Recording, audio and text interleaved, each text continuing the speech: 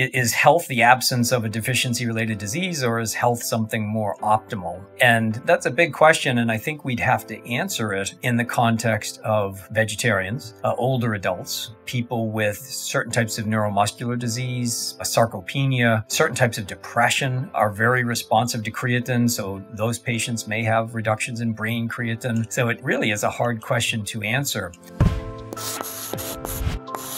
Welcome to the Proof Podcast a space for science based conversation exploring the health and longevity benefits that come with mastering nutrition, physical exercise, mindfulness, recovery, sleep, and alignment. Facts, nuance, and trustworthy recommendations, minus the hyperbole. Hey, friends, great to be here with you. I'm your host, Simon Hill. I'm a qualified physiotherapist and nutritionist with an undergraduate science degree and a master's in the science of human nutrition. Today's episode is with the eminent Professor Eric Rawson, recognized within the exercise and nutrition science field as one of the world leading voices on creatine, a compound found mostly in our muscles and brain. In this exchange, we cover what creatine is, how creatine affects muscle contraction, creatine and brain health, differences in creatine levels between vegetarians and omnivores, creatine supplements, the different forms and dosages, creatine in women, creatine in children, and plenty more. I do want to emphasize that although creatine is usually discussed within the context of athletic performance, this is an episode not only for those looking to optimize their physical performance, but also anyone interested in brain health and cognition. Please do enjoy. This is Eric Rawson and myself talking all things creatine. Hey, Eric, welcome to the show. I've uh, read your work on creatine for a number of years now, so it's a, a real pleasure to have this opportunity for you to join us today. Thanks for having me. It's great to be here. And we were just having a little laugh uh, offline there about the the fascinating world that Twitter is, and and I've certainly enjoyed uh, your tweets over the years, and it's it's an interesting space, isn't it? You can you can kind of comes with with the good and the bad, but there's certainly a lot of good and, and a lot of learning that can be had on on Twitter if you kind of focus in the right places. Absolutely. Uh, with with Twitter, I'm I'm able to find people like you and uh, scientists who I wouldn't normally interact with, and, and, you know, you ask the question, they respond, and and uh, it's a great opportunity to learn. Mm-hmm. You know, mm-hmm. minus minus all the flaming of each other. Yeah, yeah. You need to be uh, careful of that for your sanity. That's for sure. Perhaps to to sort of kick things off here it might be nice to share a little bit of history. I know okay. that the I, I, looked into how far back research into creatine goes, and, and I saw that it goes a long, long way back to the 1800s, I believe. And, I, I'm interested in hearing from your perspective, what are some of the the sort of seminal pieces of research on creatine that that put this sort of compound that is now a household name onto the map and and perhaps even inspired your own research into this area? That's a great a great question and, and a great place to start. So you're, you're correct. Creatine, uh, the first paper that I've been able to obtain on the discovery of creatine, that publication was 1832. So we, we have been studying creatine for about 200 years. And um, it, it was really the, the, hot topic in the 1800s and, and early 1900s. If you thumb through old issues of the Journal of Biological Chemistry, sometimes half of the papers are on creatine. And, and the astonishing thing, given the role of creatine in energy metabolism, was there's about 100 years of research before the discovery of uh, ATP and the creatine kinase reaction and the actual role of creatine in muscle metabolism. So uh, scientists were studying, you know, the, the content of different muscles and, and the degradation of creatine, but really couldn't uh, flesh out the function in, until the discovery of ATP. What, what's also very interesting to me is that the, the great chemist, uh, Justus von Liebig, uh, he marketed an extract of meat supplement back in 1847 which was really a high creatine supplement. And then the, the first human supplementation study that I'm aware of was the early 1920s. Mm. And uh, there were no muscle biopsies then. uh, but they could uh, measure creatine output in the urine. Normally, there's really no creatine in the urine. Uh, and uh, the two authors of the paper, it, it, looks like they they themselves were the research volunteers. So they loaded themselves with creatine and realized that not all of it was recovered in the urine, mm-hmm. meaning the supplement was staying somewhere in the body. And, and that's 100 years old, that paper.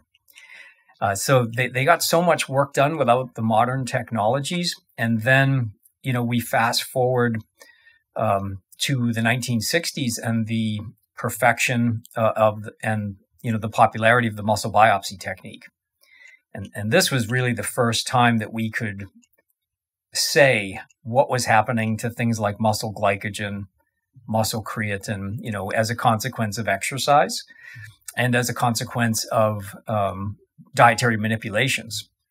So um, I think at that stage in the 60s and 70s, really what was going on was a lot of carbohydrate, dietary carbohydrate manipulation and exercise um, tests and muscle biopsies. And no one had really done any work in the creatine space until 1992. And, and that was the really the modern start of creatine supplementation. So that's the paper from uh, Roger Harris and, and Karen Soderlund and Eric Hultman. And it was simply a descriptive study. You know, feed people creatine and measure what happens to their blood creatine and their muscle creatine. And what we learned from that study was that you can increase muscle creatine in humans with oral creatine supplementation. And um, additionally, we learned that exercise augments the response. And, and we also learned that those of us who have low creatine have the largest response to supplementation. Mm-hmm. And, and, if you have naturally high muscle creatine, you have a smaller response. Mm-hmm. So we got yeah. all that from the one paper, and, and then the floodgates opened. Yeah, I want to I want to kind of circle back to that idea of your baseline creatine levels mm-hmm. at some point if we if we get the opportunity and, and chat about say sure. vegetarians versus omnivores who potentially have different baseline levels and and perhaps the differing effect that supplementation may have or, or offer to such people. Um, I'm interested in kind of this is a broad sort of question, but creatine as a, an ergogenic compound, and it seems okay. like it's the most studied uh, out there. Is that because of what you just described, this ability for oral creatine to actually get into the bloodstream and then end up in muscle, which uh, for people listening, that that might seem like something that happens with a lot of compounds, but that's actually quite unique, isn't it? Yes. Yes, this is something that we teach our our students is, you know, does the compound get where it's supposed to go? Right? So on paper, uh, you know, we can describe what a compound will do if you ingest it and it, if it gets into the mitochondria, if it gets into skeletal muscle, if it pa- survives digestion. And, and most of them do not. So mm-hmm. this was uh, very, very exciting to have, you know, an inexpensive, widely available uh, supplement and, and not just a supplement, but a nutrient that, that's, you know, consumed in the diet by a, a lot of uh, people uh, that we could we could actually get it past digestion and get it where it was supposed to go inside skeletal muscles. Now, I'll, I'll mention to you before we go on to talk about you know the ergogenic properties that mm. even though Rogers' paper came out in '92, proving that we can increase skeletal muscle with oral creatine supplementation, about a 20% increase on average. Um, certain countries, certain elite sports science coaches were supplementing their athletes with creatine absolutely back into the 1980s and probably back into the late 70s. So it, it's one of these instances where the athletes knew first, or if, mm-hmm. if you like, the bro scientists knew before the academic scientists. Uh, mm-hmm. they they somehow put two and two together and did some self experimentation, and and in the '92 Olympics, two gold medalists in track revealed to the press that they were taking creatine supplements, and that was before any of the modern mm-hmm. research came out. So th- things were ha- things were happening with the athletes already. And has there ever been any controversy around the supplementation with elite professional athletes, or has it always been a kind of approved supplement? No, there's there's always controversy around something that's actually proven effective. Mm-hmm. Uh, and and I would include, and you would recognize that caffeine is one of those substances. Sure. Right. You know, how do you ban caffeine when it's the most commonly consumed drug in the world? Well, ethically, it is ergogenic. It does improve endurance performance. Um, more recently, a lot of work has come out showing improved strength and power performance. Uh, and um, caffeine has a lot of ergogenic benefits, you know, in a lot of mm-hmm. different circumstances. So, does that break half of the the, the code about using performance enhancing mm-hmm. substances? Uh, certainly, it's a very safe substance. It's a widely available substance. So there was a lot of discussion at the beginning, um, but really, uh, this is an, a nutrient that's commonly mm-hmm. consumed in, in a non in an omnivore diet. So how do you how do you go about mm. banning a, a nutrient? You know, we could argue that you know calcium has benefits for athletes, or or you know a lot of essential nutrients. Mm-hmm. And also the the body synthesizes it, which complicates things further. I know that that doesn't uh, that doesn't preclude a, a, compound from being banned. Like we could point to testosterone, which the body also produces, but uh, it's it's it's an interesting compound to think of for a variety of reasons. One being that some does come through the diet, depending on the way that you eat. Your body does produce it, and then there seems to be some or not some, quite a lot of research suggesting that adequate may be different to optimal. And yes. all of that I'd like to to kind of dig into, but it, it may make sense to kind of first start with what type of compound creatine actually is and where where is it synthesized in the body? How does the body go about doing that? Sure. So um, normal, and this is a on average for the whole population. So it, it's a simplistic approach, but uh, normal creatine turnover is about two grams per day. So we're expecting one gram per day to come from exogenous sources, the diet, and one gram per day from endogenous production. Uh, creatine is produced from um, uh, a group of amino acids in the liver, pancreas, and, and kidney. And he- here's what makes creatine supplementation so optimal there there is a complete separation between the sites of synthesis and utilization right? So about 95% of the body's creatine is stored in your skeletal muscles and that's where it's used to produce uh, atp where it's used in energy production during times of very high energy demand. But creatine isn't made in skeletal muscles. It's manufactured in the liver pancreas and kidneys. So mm. skeletal muscle readily takes up creatine right? Not all substances, and you know, uh, other substances you will have a difficult time getting them into the muscle, but uh, the muscles are ready to take up creatine because they're designed to take up creatine produced in other parts of the body and to take up creatine that's uh, ingested with the diet. So then about 95% of it's stored in your muscles and, and most of the remaining 5% in the brain. And with regards to the compound being considered essential or non essential. Uh, terms that are often used to describe whether one needs it in the diet or not. So you've just explained there the typical person would would sort of the, endogenously produce about one gram a day, and then another one gram would come through the diet. Do you consider this uh, a non-essential nutrient, and that for sort of adequacy your body will produce enough and that one gram is enough to, to be adequate? Yeah, that's a great question. And, and you're one of the few people who's ready to discuss this or who has even really probed this question. Uh, and I think that's because of, of your background and, and your, your other interests. So uh, I guess the, the way to frame it is that there is a, there is a wide range of what is considered normal muscle creatine values. And um, if you have low muscle creatine, there doesn't appear to be an impairment.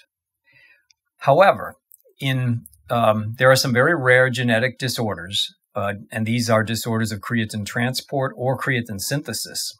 These occur in children, and the consequences are, are rather devastating. Uh, they are very, very sick. And the only way that you can rescue them is with creatine supplements. Mm-hmm. Um, and um, this is an extreme example, but it shows you that it's it's not so easy. There, there's kind of a spectrum here of normal or or adequate and you know severe um, severe disease. And um, what I think where nutrition is struggling to move away from being the study of de- deficiency diseases. Mm-hmm. And and we're in this phase of, you know, is there a difference between preventing a deficiency disease and optimal health? But I don't think very many people are are studying it that well. So the, the question becomes if if you don't have a genetic defect that reduces your brain creatine levels to zero and makes you very, very sick, if that's not you, um, will you benefit from purposefully adding some creatine to your diet? And, and even that's a simplistic question. There's a, a recent paper using the NHANES data set, very large data set, showing that, oh, um, I think um, 40, 40% of Americans aren't getting enough creatine based on the old perspective of uh, one gram endogenously produced and, and one gram uh, exogenously consumed. So mm-hmm. most people aren't getting enough creatine in their diet. Does that mean they're deficient? No. Does that mean their health is not impacted? Um, is a big question. And, and there are mm-hmm. some creatine researchers really calling for creatine to be reclassified as conditionally essential. Mm-hmm. So not non-essential and not essential, but conditionally essential. And I think that's fair. And I mean, even to go another kind of step back, you spoke about the the various organs that produce creatine. Mm-hmm. What's that dependent on? Because that that would be dependent on some yes. essential essential building blocks to actually synthesize that creatine in the first place as well. Yes, you are you are very wise. So it's it's not as simple as just concerning yourself with creatine. It's the building blocks. So uh, dietary methionine, dietary glycine, uh, or the levels in the body uh, and and methionine, we we could we would encounter that in any conversation about um, protein, meat eaters hmm. versus vegetarians, uh, because that's an amino acid that's well known to be you know deficient in certain plants, uh, and and food combining usually takes mm-hmm. care of it, but it makes studying creatine on a population level much much more difficult. You know, not just do you have enough creatine, is do you have enough precursors for the synthesis of creatine? Mm-hmm. Absolutely. Mm-hmm if someone's listening and they're thinking, this is super interesting. I, I wonder if uh, genetically I'm I'm producing a, enough creatine, and uh, you kind of alluded to it. Uh, I'm assuming that there are a number of different genetic sort of polymorphisms that could affect this, and there's probably a bit of a spectrum, like many compounds, where yes. it might not be that you're producing zero uh, but you may fall somewhere along that spectrum and, and be producing less than the next person. Is there is there a sort of routine laboratory test or way for someone to go and objectively quantify where their creatine levels are at? Yes, un- unfortunately, the answer is absolutely not. Mm. so, uh, the first reason is that skeletal muscle creatine and uh, plasma creatine m- might be related, but they're not so directly correlated that there's there's a relationship like you could you could not use under most instances plasma creatine as a proxy marker for blood creatine.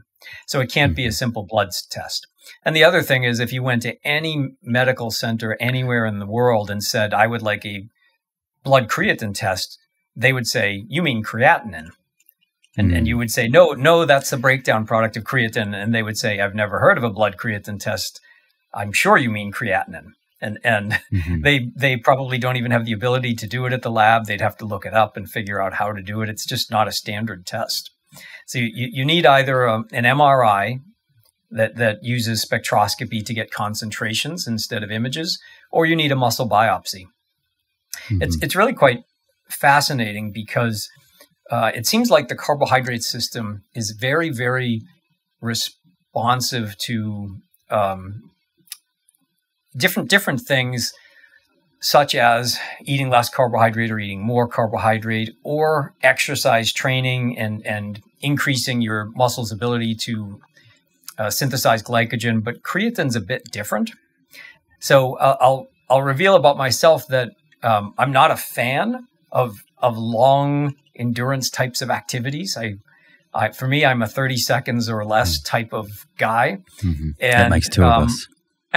fantastic. uh, so I, I've spent my entire life, you know, sprinting or in the weight room. It's it's always been about strength and power.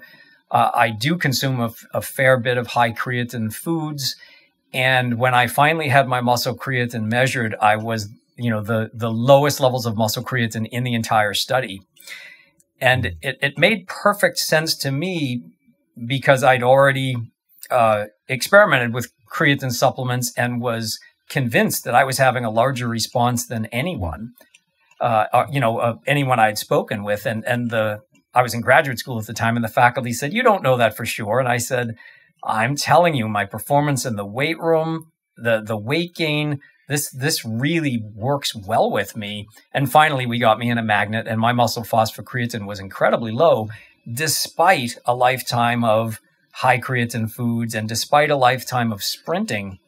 And and when you look at the research, it doesn't seem like the creatine phosphocreatine energy system responds to stressful exercise like sprints that would that would specifically stress the creatine phosphocreatine energy system.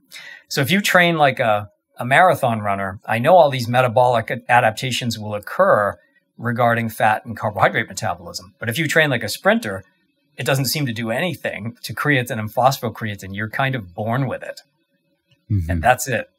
Thankfully, you can top off the tank with the supplement. With some of these kind of supplements or uh, different areas of nutrition and health, you often hear the term hyper responder. Yeah. And you just got me thinking there about your personal experience. Is is that a a sort of something that's been tested and, and proven with creatine? Are there are there certain people out there that you would say are going to benefit more so and do experience that? Yes, ab- absolutely. Um, but we, we have to say that we're specifically talking about skeletal muscle at mm-hmm. the moment and, and not brain metabolism. So in, in skeletal muscle, there's a nice relationship that those of us who have the lowest muscle levels have the largest increase in response to supplementation. But everyone really has an increase. So the increase might be small, medium, or large. And, and with my students, I, I use a gas tank analogy. You know, if your tank is on full, you can hmm. you know top off the tank if your if your gas tank is half empty you can add a, a lot more in there uh, and so you do get this situation of low responders, medium responders, and high responders, um, but everyone is a responder. And, mm-hmm. and you can augment the response a little bit by combining it with carbohydrate and protein. Uh, and that seems to stimulate muscle creatine uptake a bit better, just like mm-hmm. exercise mm-hmm. does. Mm-hmm. Um, but yeah, there's a very clear relationship in the muscles between starting point and, and response. I want to talk a little bit about co ingestion uh, in a little bit.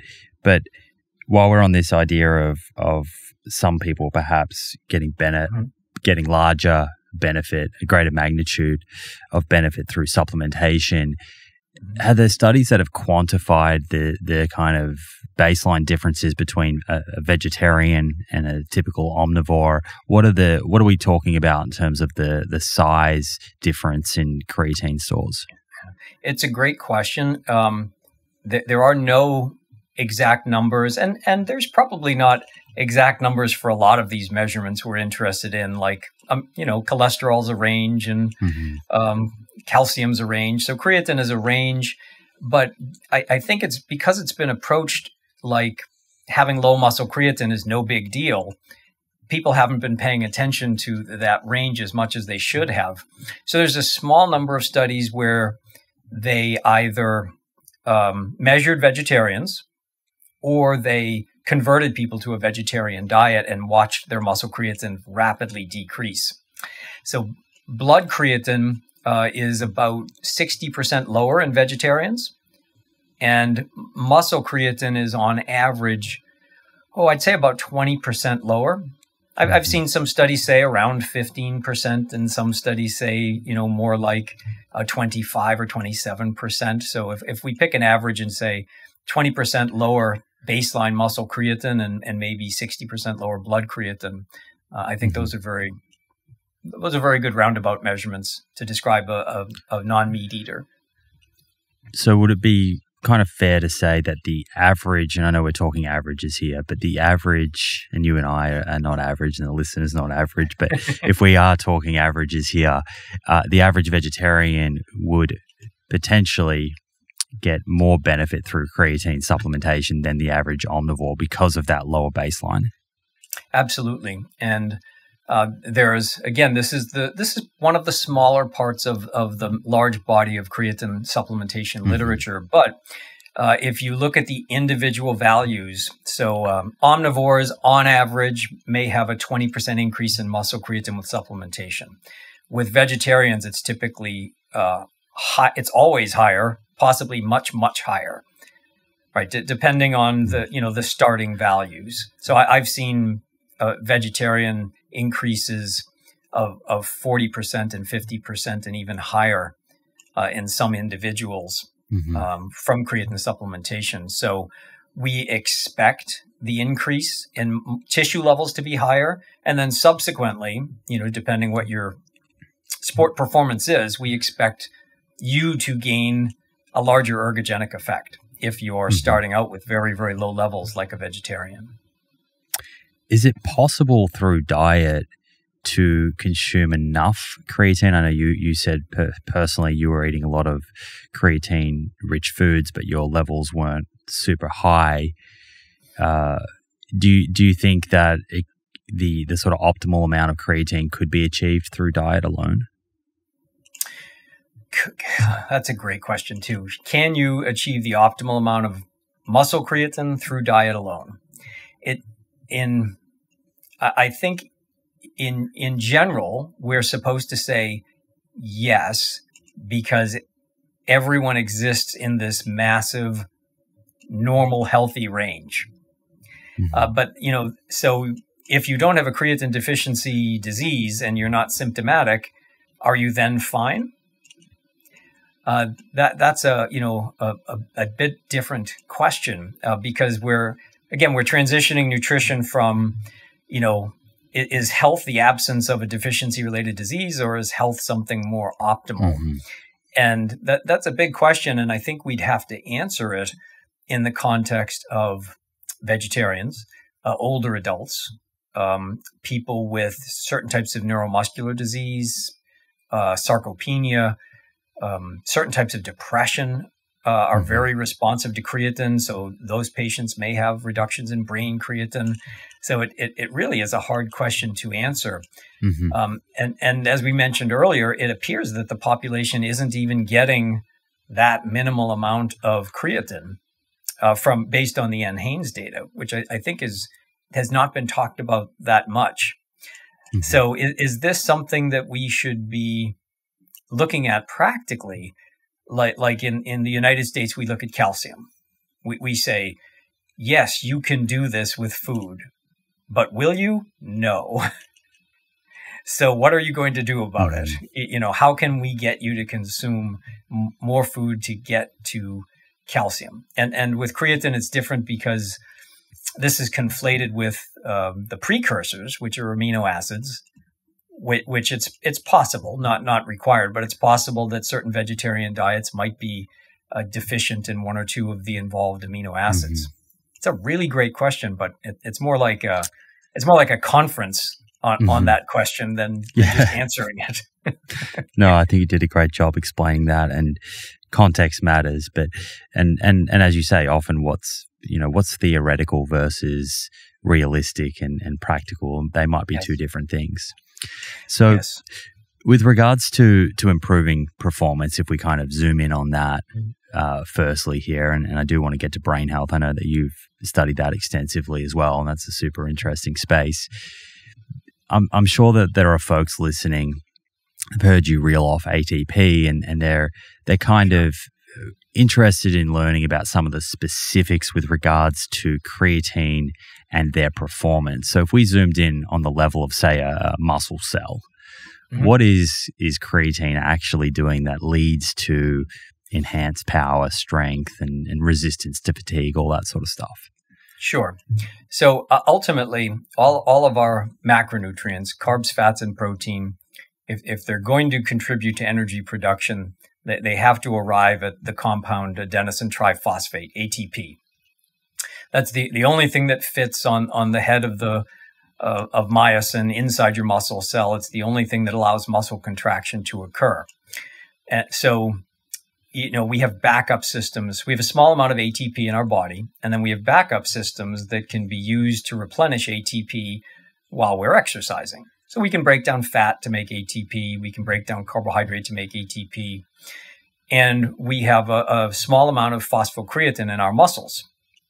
So when we, we break down ATP and our muscles contract, we immediately need to replenish that. And when you lop off one of the phosphates of ATP, you have to get a phosphate from some place, and that comes from phosphocreatine, or what some people call creatine phosphate. So what you're actually doing here is you're increasing the size of the creatine phosphate or, the phosphocreatine pool inside your muscles. Mm-hmm. So if you think of, you know, if you were to run as fast as you could for uh, 100 meters, uh, if you just had some ATP in your muscles, you wouldn't make it 100 meters. You'd, you'd, your muscles wouldn't be able to contract. You'd be out of fuel. So the backup system starts, and phosphocreatine donates its phosphate to this chemical reaction, your muscles continue to contract. So the, the breakdown of phosphocreatine is, is unbelievably fast. It's a limited supply, but it, it's, it's instantaneous. So that's the energy system that allows us to do that 10 seconds of maximal sprinting. And, and certainly mm-hmm. uh, it contributes a large amount to 20 seconds or 30 seconds of sprinting and now you start to see how it's relevant to things like uh, football or, or rugby, where there's intermittent bouts of sprinting. Uh, and, and you can find, you know, high intensity exercise where we rely on creatine phosphate to supply energy. You can find high intensity exercise in the Tour de France.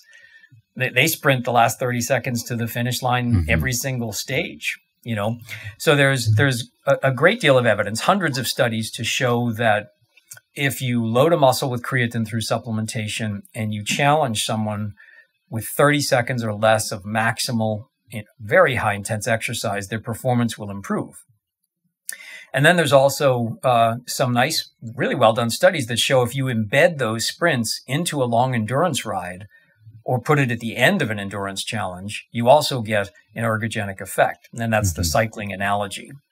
So can really benefit athletes across a, a wide spectrum, not just the 100 meter sprinters among us. And in that case, in endurance exercise, are you are you talking about from a supplementation protocol point of view, just saturating the the cells with creatine before exercise, or is it something that that an athlete would be consuming during that endurance bout? That, that's a great question. I, I think the, the bulk of the research suggests that we should be uh, increasing muscle creatine content um, before the actual athletic event. Mm-hmm. There's very few studies on the effects of pre-exercise or during exercise creatine ingestion. Um, because um, once once your muscles are kind of super saturated with creatine, that's where they remain for, for weeks. So there's a big difference here between muscle glycogen. You, you know, if you and I mm-hmm. carbohydrate load, and and then we go for a bike ride, uh, our muscle glycogen levels decrease, and and they don't increase until we eat carbohydrate and and uh, refill the tank. But phosphocreatine, you know, it declines during intense exercise, and then it resynthesizes itself back to baseline in about three or four mm-hmm. minutes. So um, really, we haven't figured out why it would be beneficial during exercise. Mm-hmm. Um, but you know that's that's uh, before we started thinking about the cognitive effects. Sure. And, and I I do know some athletes who take you know their creatine once a day um, prior to whatever athletic challenge they're participating in, and, and they claim that there's mm-hmm. um, a, a, beneficial effect on mental clarity. But for the most part, here we're, we're talking about filling up the tank before you before you get on the bike. What about this idea that that post exercise is a, a good time to replenish creatine stores? Is there any sort of scientific validity to that? Sure. Um, it's so the, the, the the muscle creatine uptake is insulin mediated. So mm-hmm. you can augment muscle creatine uptake in a few ways. One would be to inject yourself with insulin, but you'd probably die, so we don't recommend that. the other the other would be much easier, and that would be eat a nice meal. Mm-hmm. Right. So if you you know uh, carbohydrate and protein combinations, uh, which we would expect athletes to be eating, you know, uh, if, if you have a large post exercise or post training meal, which most people do, that would be a good time to take your creatine because you'll have a large hyperinsulinemic response and, and that will augment muscle creatine uptake. Exercise has insulin like effects, it does the same thing. So uh, I think if you're going to take creatine once a day, that's probably the, the, the best time. Not mm-hmm. not urgent. You don't have to consume it in your automobile while you're sitting in the parking lot, uh, not in the locker room. You can make it home and cook your your meal and and um, you know, or you could, I know some athletes will make that part of their kind of post exercise snack, mm-hmm. which might be a, a, carbohydrate protein type of beverage before they shower or sit down and cook. But I think the mm-hmm. post exercise period, and, and, I don't sure. mean immediate, I, I, think that's that's a, a, great place. I guess the only folks that may want to consider uh, having their creatine with insulin uh, or exogenous insulin are, are, those that are living with diabetes. But again, that will probably pair with when they're about to eat a meal as well. Yes, it, it will. It, it I, I, think we've overcomplicated it. You know, um, you, you could you could augment muscle creatine uptake by eating you know, some sort of a candy bar, which would have a very mm-hmm. large hyperinsulinemic response. So everyone's saying, what's the ideal carbohydrate? And, you know, what's the difference between fructose and glucose? And, and you could literally just go eat mm-hmm. and take your creatine at the same time. And, and that would work very well. What's the, the the magnitude? You spoke to hundreds of studies that have looked at this and mm-hmm. different types of performance. What's the kind of magnitude of benefit that maybe someone could expect? To to yeah, experience? That's a great question, and it's it's so hard to quantify because um, of the different types of performances that we're describing. You know, so in, in some cases it's it's something like repeated vertical jumps. Or, or in another case, it might be repetitions in the bench press or a 30 second cycling sprint or you know a 10 second cycling sprint so the time domain is often different and then, you know, if you start to add in things like swimming, uh, that's a completely different effect. It, it, you know, the effect is not large, and, and it shouldn't be, right? Because this is a nutrient. This is a, a naturally occurring nutrient that our bodies already have uh, great stores of. So we shouldn't expect drug like effects. And, and this, this doesn't produce drug like effects. But, you know, let's say uh, on the order of four or 5% something like similar to um, a caffeine response or, or, you know some of the other few dietary supplements that mm-hmm. that have a performance enhancing effect so not large but you know practically speaking very very important so mm-hmm. uh, a 5% improvement in, in, you know the 100 meter sprint in in track and field or a swimming event my gosh that's they they win and lose races by the hundredth of a second. Yeah, yeah. Right. So so it's important with the elites, but um, what if you're an, an, older adult and and you you have physical frailty, uh, and this is allowing you to um, get up the stairs more safely, more powerfully? Uh, what if it improves your activities of daily living? Certainly, that's not a small effect then. Mm, and and for, for, for the average the average humans among us, um, you know, in in creatine it is at its best, I think, in the weight room. Mm-hmm.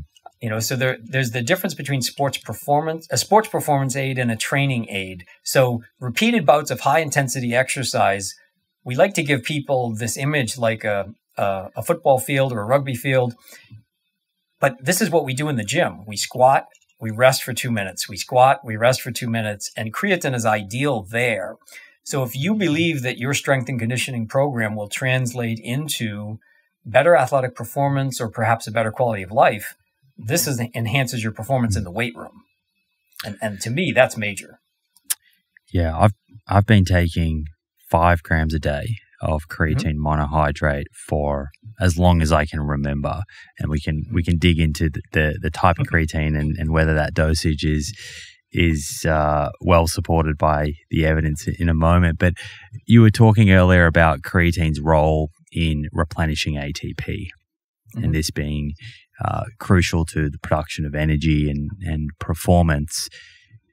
Why not? And this will be a silly question, but I think it's worth asking why not just take a, a, an oral form of ATP and and sort of bypass creatine?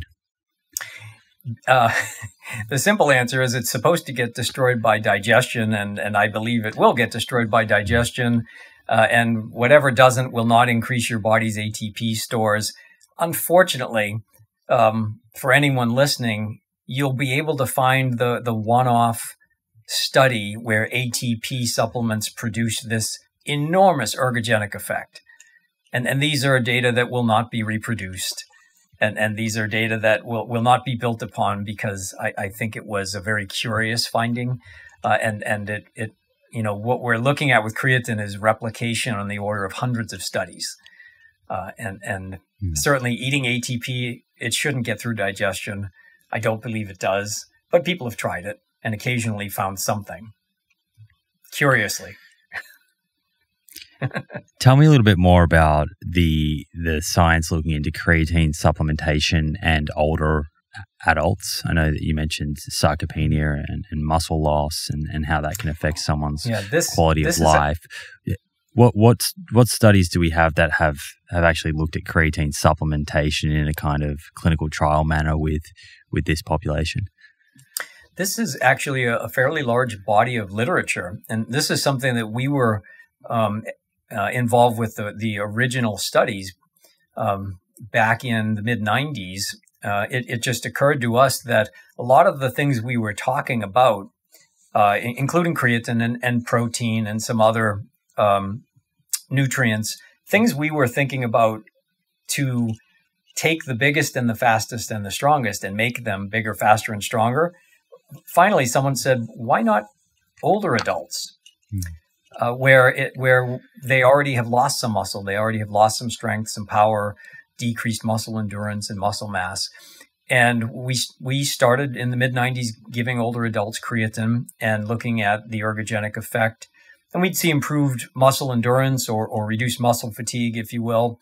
Uh, and then other people started adding creatine to res- long-term resistance training programs in older adults, and uh, the findings have been very, very positive, it, and enough for us to have systematic reviews and meta-analyses just on the effects of creatine on exercise performance and muscle mass in older adults, and it, it's very effective. Mm-hmm. Now, the the question is, um, do older adults have decreased muscle creatine as a result of aging? And we don't know because all human aging research is confounded by decreased levels of physical activity. Right. So the, the endocrine environment is changing, you know, reductions in testosterone and growth hormone, and there's type 2 fiber atrophy, and then there's decreases in physical activity. So what's what's driving an age-related reduction in muscle creatine? We don't really know. Um, we, we do see it in some studies, but not in every case. But it, it, would bring older adults down to the level of, say, a vegetarian with a hmm. not uh, a clinically deficient, if you will, level of muscle creatine. Uh, hmm. no, no known impairment, uh, but uh, reduced muscle creatine to the point where they would really benefit from the supplement. Mm. So we, we do see that does exercise and, and resistance training in particular act as a stimulus for the body's endogenous production? If you are doing more resistance training and you build more muscle, I'm assuming does the body respond in a way that will produce more creatine? Yeah, I don't think it does, and and that's because we have a few really well done biopsy studies of sprint trained athletes, uh, or sprinting athletes, athletes who had undergone sprint training, and also we have multiple resistance training studies where the placebo group didn't have a spontaneous increase in muscle creatine. I'm one of these guys who always checks out the placebo group to see what's what's going on. Now, the reason I mentioned physical activity as it pertains to the elderly is because what we do see consistently is that extremely low levels of physical activity, such as immobilization, um, cause large reductions in muscle creatine. 25% reduction in muscle creatine if you if I put your arm or your leg in a cast. So does that approximate aging? Well, for some people, probably, mm-hmm. unfortunately, mm-hmm. but not for all older adults. So physical inactivity versus, um, you know, an immobilization laboratory model is is is different. But extremely high physical activity doesn't seem to increase muscle creatine, but extremely low physical activity does seem to decrease it. Mm-hmm. What do we know about the the dosages for creatine supplementation, say in older athlete in older adults versus athletes? Is it a, a similar kind of dosing protocol? Yeah, I, I believe it's it's the same. The, the analogy of filling up a gas tank is the same. So the, there there are two approaches here, and, and one is if you're in a hurry, take about 20 grams per day for five days. And in, unless you're, you know, 400 pounds of muscle, which which we don't see often, for most human beings, 20 grams per day for five days will get your muscles super saturated. Mm-hmm. Or somewhere between three to five grams per day for about a month will get you to the exact same muscle saturation level.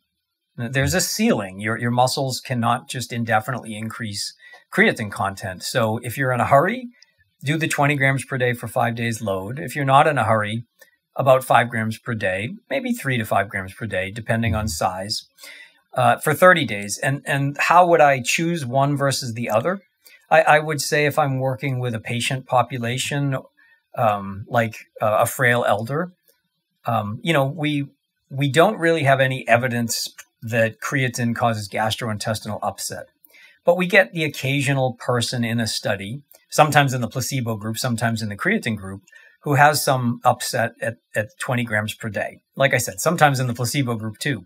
But if I'm working with an older adult where um, de- dehydration is a very serious issue or, or gastrointestinal problems are really going to complicate things, then I would just do the, the maintenance dose. Start with the low mm-hmm. dose and, and keep going.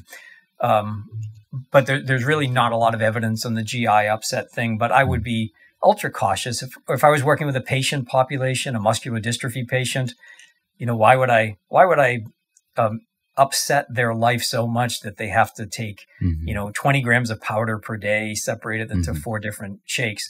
Just do the one dose per yeah. day and, and, be a little more patient and, and, we get to the same place. Yeah. That seems like a, a pretty common sense uh, approach there. Yeah. What about once you get to that same point, and so you've saturated your body, your mm-hmm. the, your uh, muscle cells with creatine? is it something then that you just continue with that sort of three to five gram dose on an ongoing constant basis or is it something that that someone would cycle on and cycle off great question so there's i think there's two parts to this answer uh, and one is to compare the creatine phosphocreatine energy system to like the carbohydrate energy system right if if you and i don't eat carbohydrate for the next 24 hours our liver glycogen will be down to basically zero. Our muscle glycogen will be much decreased. Um, if we don't eat creatine for the next 24 hours, nothing will really happen. Right? It, it takes a few weeks, uh, maybe three weeks on a vegetarian diet to really decrease your muscle creatine levels. So if you're if you increase your muscle creatine levels to about you know 20% above baseline, if you stop taking creatine immediately, it probably takes you about six weeks to get back down to baseline. So if you you want to continue to have these supersaturated levels, you take your three to five grams per day. And if you forget to take it on Monday, don't panic. Hmm. Don't go through the loading cycle again. It's it may decrease 0.1%, but it's not going to have a major impact. Once you supersaturate your muscles, they're stuck there, and it's going to take you a few weeks for everything to get back down to normal. Now, the, the cycling question is really interesting as well. I, I think if there's any sort of, you know, down regulation, right? And, and that's a word that scares people. Won't my endogenous synthesis be mm. suppressed? And won't there be down regulation of transporters? And I always ask them, you know, are, are you aware what happens with mineral metabolism? If you're on a slightly low calcium diet, won't your body adjust and you'll absorb more from your diet? The same thing with iron. Uh, if you're on a slightly higher diet, won't you excrete more, increase loss? So uh, this is a nutrient. Again, I, I think we can get panic stricken if we treat things like uh, you know drugs. powerful pharmacological drugs. Mm-hmm. So if my body decreases endogenous synthesis because my muscles are 20% above what they are w- without the supplement, then I'm okay with that. And and if you look at uh, you know urinary creatinine levels over time when people are um, washing out with the supplement, so to speak. It, it appears that pe- everything returns uh, to, to, baseline the, the way it would be. You know, your body's very smart, and this is not the same thing as say like this is a, it's a terrible analogy to compare you know suppressed endogenous production to something like anabolic androgenic steroids or testosterone, which could really you know create an imbalance or shut down your endocrine mm-hmm. system, maybe permanently, but commonly for months and years. With hmm. creatine, because this is a nutrient, I don't see a reason to cycle.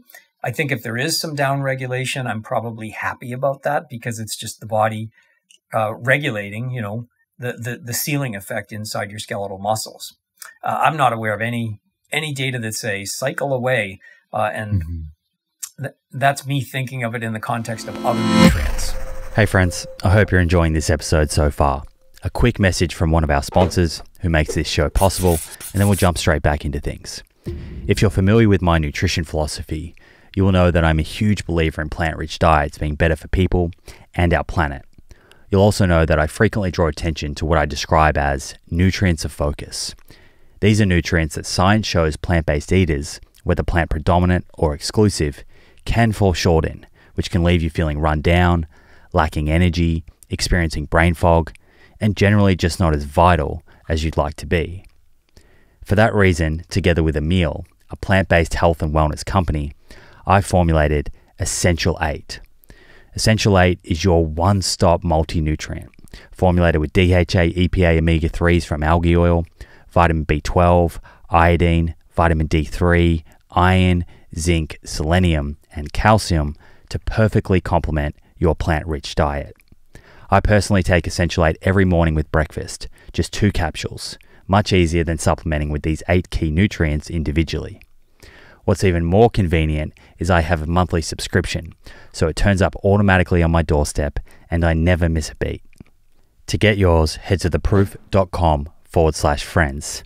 That's theproof.com forward slash friends, where you'll find a link to purchase Essential 8 that will get you an extra 5% off your first order on top of the significant subscription discount.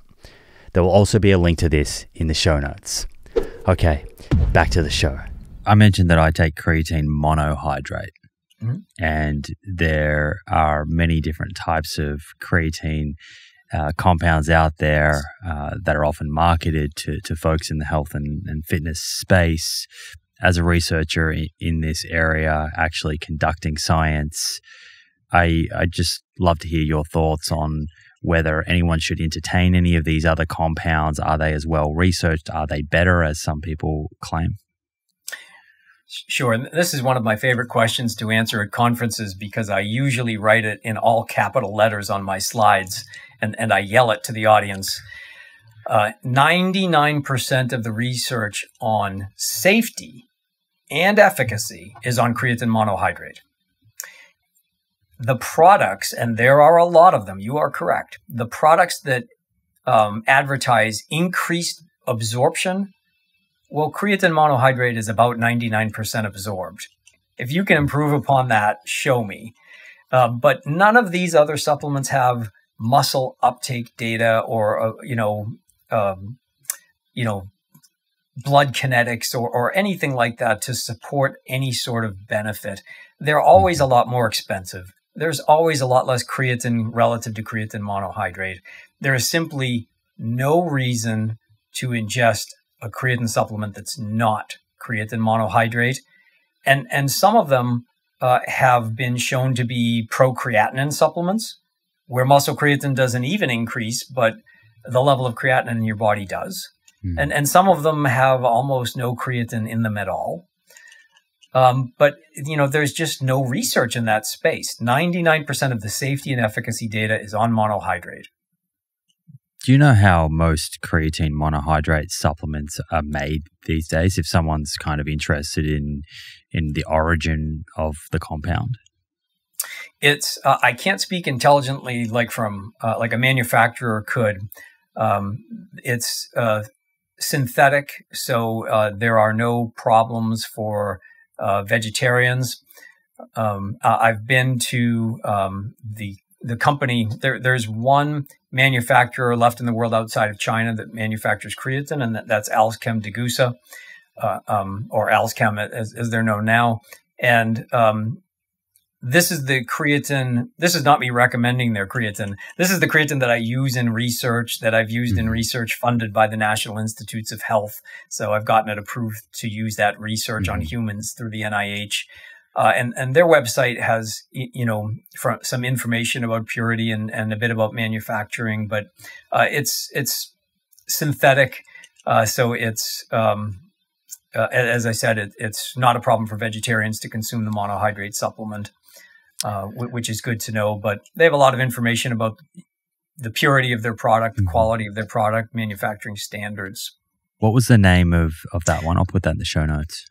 So Alzchem, A L Z C H E M, um, they make or they they only market under the Creapure brand, and uh, I think what a lot of people don't realize is that there aren't that many supplement manufacturers. There are a lot of supplement mm. retailers. So if you read the back of the bottle, it often says manufactured for or manufactured by. And so you can buy Creapure creatine un, under a number of different labels. Mm-hmm. So they, they, would sell it to a, a, different retailer, a different manufacturer. Now, now full disclosure, um, Alzchem uh, about a year ago asked a, a, lot of us to sit on their their scientific advisory board. So I do sit on their scientific mm-hmm. advisory board, um, which gosh, has, has really reinvigorated creatine research and gotten a lot of people talking again. So I'm actually very, very, very pleased for that. But um, you know, there are there are some issues with purity and quality control for other sources of creatine that that you know are, are a concern to me. Not the Alzchem product, other mm products, and, and that's because of the the 20 gram per day large dose. mm Um, I, have I've studied a fair bit about diet, dietary supplement purity and you know, this is an issue with herbs. This is an issue an issue with vitamins and minerals and and a, lot of other products. It's not a creatine specific product. So just to clarify, though, Creapure is mm-hmm. kind of like a proprietary name that yeah. other brands could use, but that gives you an indication that it leads back to that source you're talking about. Yes, absolutely. And and I just despite the the you know appearance of a conflict here, uh, I'm I have no problem you know, pointing people in that direction. And again, it's because when anyone asks me, you know, an institutional review board or a funding agency, when they ask me, prove this is a safe and pure nutrient that you're going to supplement humans with, uh, I'm able mm. to do that. And and to me, yeah. that that's quite a standard, um, w- which it can't even be achieved with some dietary supplement studies. Mm. No, I think it's good information. I think there'll be a lot of folks that will want to use a creatine that is used in the in the studies. So that's certainly um, good information. I've got a question for you on that and the kind of synthetic nature of this. This one often mm-hmm. comes up uh, on Twitter, actually. And what if someone was to say, uh, sort of quote unquote, this is you know not natural. It's not natural to to take a, a supplement uh, of creatine at a dose that you wouldn't normally naturally uh, get in your diet, and that we should be able to just get it all from food. What would your response be to that? I'm sure you've had that a, a few times in your career. I've, I've heard that one a few times. It's um, it's definitely up to the individual and, and your your your style of thinking. Uh, you know, if you are, are comfortable stopping with nutrition research at the um, the elimination of deficiency diseases, right? If that's all you care about is rickets and, and uh, scurvy and and you know anemia, then that that's fine with me. Um, but we're really looking at nutrients from the perspective of optimal health now, and I think most people aren't aware that you know the the recommended dietary intakes do change and do evolve, uh, and some of them quite contentiously. Right? Um, I teach my students. I actually show them the you know the the last edition of the textbook and the current edition, and the recommended dietary intake of vitamin D tripled. Mm. That's a that's pretty far off. so you know, nutrition is a very young science. We've been we've been thinking about nutrition and, and tinkering with nutrition for a long time, but nutritional science is young. And we identified the essential compounds and we, you know, eradicated deficiency diseases. Uh, and now we're at this point where, you know, is this, you know, an unnatural thing that you're doing? But I, I, I like people to ask that question when they're talking about vitamin C mm-hmm. and, and, and, calcium and, and um, iron and, and other types of things. Um, or even some of the more exotic supplements that people would take, like uh, you know ubiquinol or, or uh, antioxidants. You, you know, it, it's really a, a question about um, minimal health and you know avoiding deficiency diseases versus optimal health. Mm-hmm. So, as you mentioned, you've been taking creatine long term for uh, quite a while, mm-hmm. and uh, you know, uh, how do you feel? do you do you feel like you're you're violating nature's mm. laws by by doing that? Um, it it it also has to be worked into your diet, right? Because, um, you know, m- meat consumption, meat's cost, the the health effects of the saturated fat in meat, the ability for older adults to to chew meat, or the ability of people to digest meat um, issues related to climate or, or um, farming techniques or, or eating animals in the first place, these all have to be put into that, you know, the context mm-hmm. of that simple question: Are you doing something unnatural? Mm-hmm. You know, to yeah, I certainly. I think we kind of share the same view on that, and mm-hmm. I'm a big believer in, in not ruling something out just because it is quote unquote unnatural and, and looking at the evidence and and trying to, to dig into that question that you're you're putting out there there around what is adequate versus what is optimal and may improve health span, uh, improve right. quality of life. Right, and and this is all wrapped around the the largest issues we have, which are related to obesity, physical inactivity, poor physical fitness, and, and cardiometabolic disease. So, um, if, if, there's any sort of dietary recommendation that can uh, assist people in, um, you know, improving the quality of their life, I'm I'm certainly interested in that.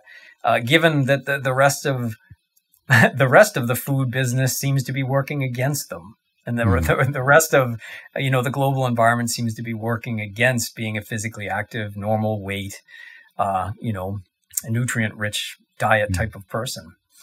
So it, it, they're big questions. It's interesting, and it might be indicative of a number of, I guess, uh, supplements that have hit the market that perhaps haven't been supported by evidence. But, but performance supplements in general tend to attract a lot more skepticism than, say, a calcium or or a vitamin C. It seems to kind of just come with the territory. Do you feel like that skepticism is warranted, or is it is it unnecessary?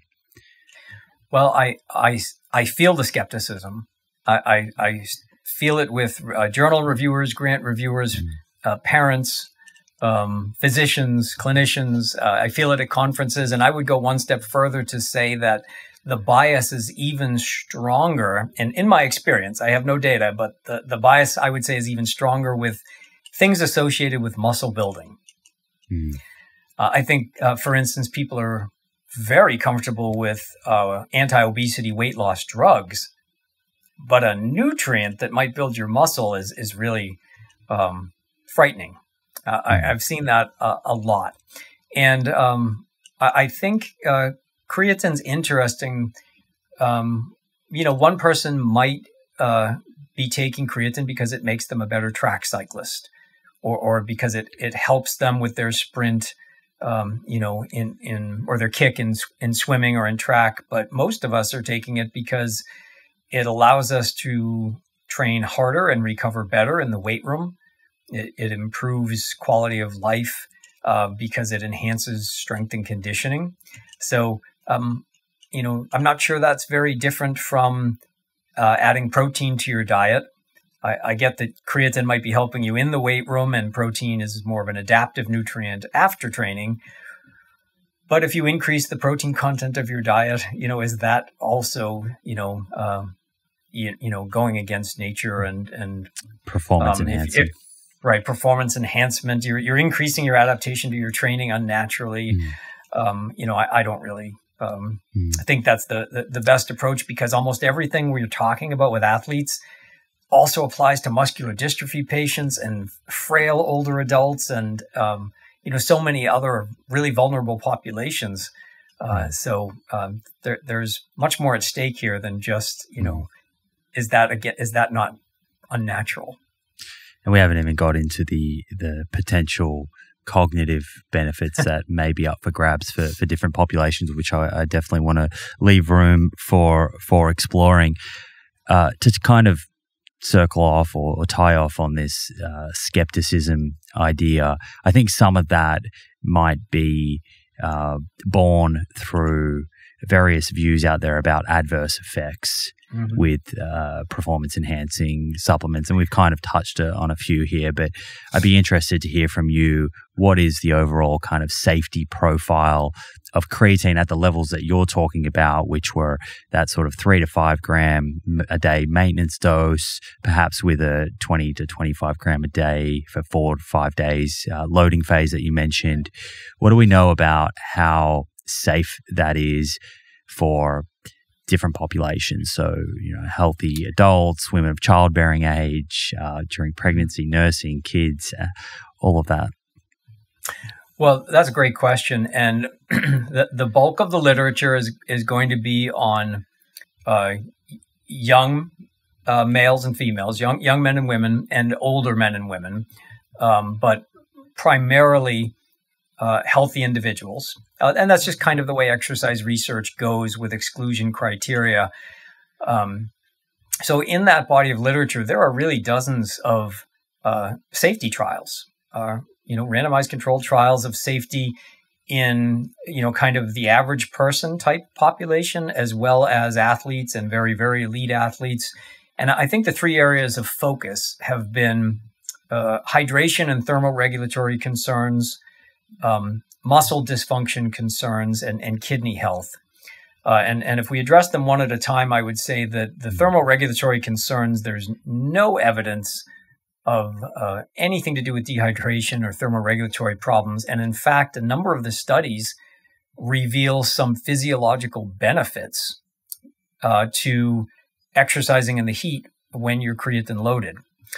Uh, and the military has been very interested in, in that type of an effect. So if I creatine load people and I, I put them in the heat chamber in the in the lab, uh, in some cases, some of their some of the measurements we would take, like heart rate, uh, are actually improved in, in the creatine versus the placebo group when exercising in the heat. Uh, what we don't have are any cases where anything is worse in the thermoregulatory space. So either s- small improvements, uh, but definitely no adverse effects. In the muscle area, it's been well studied um, cramps, strains, muscle tears, injuries, um, lost game time, uh, you know, missed practices, things like that. Um, in some cases, coaches and athletic trainers, oh, they, they, they take such wonderful records. So we have all of this information and we can separate the creatine supplemented athletes and the non supplemented athletes. And again, uh, a, a surprising percentage of the time, not only is there no increase in muscle dysfunction, there's actually uh, an improved muscle function. Like there's fewer cramps and fewer strains in the creatine group. And, and one way this has been really well studied is by creatine loading people, bringing them into the lab, and then subjecting them to a, a brutal type of exercise test. And there has there's there are some studies that show a protective effect, less damage to the muscle, less soreness, faster recovery, but there's not a single study that shows increased damage, you know, increased dysfunction. So nothing for thermoregulatory, nothing for muscle dysfunction. And then the last one is kidney health. And this has been done over and over and over again, uh, in some cases for several years. And, and we just haven't seen anything. You know, occasionally we see a small increase in creatinine, mm-hmm. which I think is probably meaningless, particularly in a large um, athlete ingesting creatine that they might have a small increase in creatinine that stays within the normal range. Uh, you know, that's a, a, a blood creatinine measurement might be a, a helpful measurement for renal function. If you have serial measurements, you know, at my age, if I if I did that every six months and it was trending upward, that would be important to explore. But if you know, if you have a large muscular athlete who has a higher amount of creatine in their body, a higher urinary creatinine output, and they're also taking creatine. Any small hmm. increases of blood creatinine that we're seeing, uh, I don't think are, are meaningful. Hmm. I, I, think it reveals the weakness of the test. But uh, some of the labs, particularly the team down in Brazil, have used more sophisticated measures of renal function. They found nothing, mm-hmm. no, no, no detrimental effects. So not thermoregulatory, not muscular, and, and not kidney. Uh, and then hmm. there's safety trials in some of the vulnerable populations like ALS patients. And, and again, n- nothing. It, it appears to be a very, very safe and mm-hmm. well studied supplement. And, and again, I'll say, why should I be surprised? It's a nutrient, not a drug. Mm-hmm. The South American lab, is that Hamilton Roschel's lab? It sure is. Yeah, so yeah, they, they do a, a lot of great kidney work. Is, is Hamilton a friend of yours? Yeah, he's been on the show. He's a he's a friend of the podcast. Great guy. So um, he's, he's I know a great that you, scientist. Yeah, you you guys have collaborated on a, a few things, right? Yes, uh, that's a great team. Uh, he's a he's a great guy. I, I you know uh, I'd love to take a trip down there again. You should come down with us, uh, and, and, we'll do some love fun to. creatine studies in Sao yeah. Paulo. I'd love to. Um, while we're we're on this uh, topic of of safety, I have a few kind of specific questions, things that I've seen come up or people have asked me.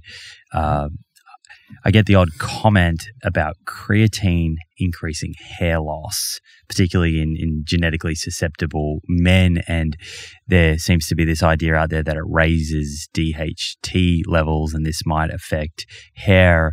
I tried to look into this and it seemed like there wasn't a whole lot of evidence to support that, but uh, I'd, I'd love to hear from you on that. Yeah, it's I get that question as well. Um, I, I don't know how it started. It, it's possible it could be traced back to this older study, one study that showed a small increase in, in as you said, dihydrotestosterone. Um, and, and DHT levels are have to do with male pattern baldness and um, the, the medications that you know would would hopefully uh, you know, slow down baldness would be DHT, uh, you know, blockers or mm-hmm. inhibitors. So it, it makes sense on paper, but I'm, I'm not quite sure that one study that showed um, an increase in DHT levels, you know, uh, 20 years ago, and, and the data have never been reproduced. I'm, I'm not sure that's enough to set off the alarm, um, mm-hmm. be, because again, um, we're, we're, talking about a nutrient. So uh, really, if if if I ate two large steaks a day, would would you expect me to ex- have accelerated hair loss? Mm. You know, when you put it in food context, then it sounds it starts to sound strange. Mm-hmm. I, I, mm-hmm. do know there's a clinical trial that's underway to to really address this, um, and, but it's ongoing at the moment, so we don't have those data. Um, but it, it's amazing the legs that one study, one odd finding could could have. Um, I, I would not expect creatine to have a major impact on the endocrine mm-hmm. system because it's it's in the energy metabolism system. It, it's It, it, mm-hmm. it just really doesn't cross over there. It's a good scientific principle or learning to to look for reproducibility of of findings. So it'd be interesting to see what that the new study uh, comes up with, what they produce. Uh, yes. What about weight gain? I know that some athletes, for example, boxers or even bodybuilders who are sort of conscious of their weight at particular times leading up to to events, uh, and and often avoid creatine at these times in fear that it will uh, lead to water retention. Yes. Well, it, is is creatine going to increase your total body water? Yes, absolutely. As does carbohydrate loading. So uh, I always start with that because th- there seems to be this this fear of water retention when it's creatine, but um, everyone's okay when it's glycogen, right? Mm. So glycogen retains three times its weight in in, in water, and um, marathon runners deal with it, cyclists deal with it. The thing about creatine is that because once you load your muscles with creatine, once it attracts that water, you can't get it out of the muscle cells just by not eating creatine for a day. Right. Uh, any of your listeners who've experimented with low carbohydrate diets and weight loss know that if they reduce their carbohydrate intake, they'll see rapid weight loss in a few days. And, and most of that is glycogen and water. But if you have elevated creatine stores, you're going to have elevated body weight for the next, even if you stop taking creatine, for the next four to six weeks. So if you are struggling to make weight, please stay away from creatine. I, I don't want it to mm-hmm. drive you to even more unhealthy um, weight restriction or, or, weight loss practices to, to make it into a weight class. Um, we published a case study of an individual who, after a month off creatine, his muscle creatine levels were still more than 20% elevated, and his body weight was still very much increased after 30 days off the supplement. Mm-hmm. So, you know, especially if you're a high responder right? So if, if you have weight class restrictions and, and you're not, you know, you're going to struggle to make weight, you need to think carefully about this because, uh, you know, you can't correct it unless you take a full four to six weeks to get the creatine mm-hmm. and the water out of your, your muscle cells. I think that's an important message. And then mm-hmm. people, I, I, think people can make their own decision. Now, I, I think the unexplored area scientifically, I, I think weight class is more of a common sense issue the the real scientific issue that hasn't been addressed is um, that some of this weight gain would be uh, metabolically enhanced tissue, uh, for lack of a better expression, and some of it will be just water, right? So, you know, in endurance sports, if you may lose maybe one or two percent of your body weight, you're probably more efficient and and even faster over a long, long race what happens if you gain one or 2% body weight? In, in a long race, you'll be slower. So what happens, you know, in a sprint, it, it appears that the metabolic benefit out, outpaces any weight gain. Mm-hmm. And in, in, sports where you're seated, like uh, crew, like rowing, it appears that the metabolic benefit out, outweighs the, the weight gain. Mm-hmm. And when you what say about, metabolic benefit, you're talking about the enhanced ATP production as a result of having the extra creatine stores despite the extra weight. Exactly. Higher starting muscle phosphocreatine levels at the beginning of the race. You, you will, you know, be able to last longer or generate more power mm-hmm. over time.